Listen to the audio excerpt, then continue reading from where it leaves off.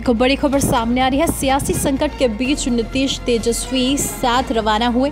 दोनों एक साथ गांधी मैदान पहुँचे। गणतंत्र दिवस समारोह में दोनों हिस्सा लेंगे।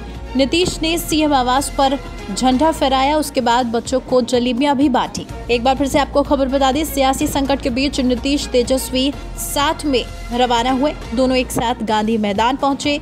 गणतंत्र दिवस समारोह में दोनों हिस्सा लेंगे। इससे पहले नीतीश ने सीएम आवास पर झंडा फहराया, उसके बाद बच्चों को जलेबियाँ बांटी। एक बड़ी खबर सामने आ रही है, सियासी संकट के बीच नीतीश तेजस्वी साथ रवाना हुए। दोनों एक साथ गांधी मैदान पहुँचे, गणतंत्र दिवस समारोह में दोनों हिस्सा लेंगे।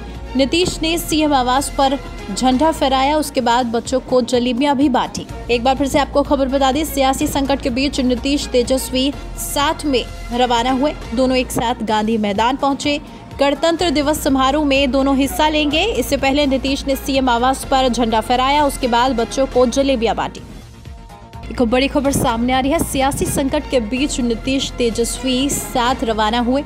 दोनों एक साथ गांधी मैदान पहुँचे। गणतंत्र दिवस समारोह में दोनों हिस्सा लेंगे। नीतीश ने सीएम आवास पर झंडा फहराया। उसके बाद बच्चों को जलेबियाँ भी बांटी। एक बार फिर से आपको खबर बता दें, सियासी संकट के बीच नीतीश तेजस्वी साथ में रवाना हुए। दोनों एक साथ गांधी मैदान पहुँचे। गणतंत्र दिवस समारोह में दोनों हिस्सा लेंगे। इससे पहले नीतीश ने सीएम आवास पर झंडा फहराया, उसके बाद बच्चों को जलेबियाँ बांटी।